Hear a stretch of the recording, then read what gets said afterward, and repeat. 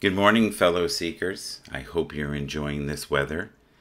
This is a great time to reconnect to the joy that's in your innermost being. Spend some time in stillness. Walk among some tall trees.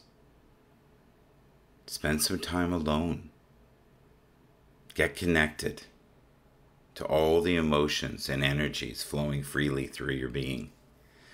Choose to release the pain from the past and know that today is a new beginning, and every day that we wake up is a brand new chapter full of glorious opportunities. May you have an awesome week and know on some level that you are directed and protected by countless angels. And feel free to follow these messages of inspiration each and every day. All you have to do is hashtag shoutmgb or follow me at Twitter at Michael Bathurst. Thank you for your time, and may you connect to these wonderful energies that are freely flowing in the universe as we speak. Take care.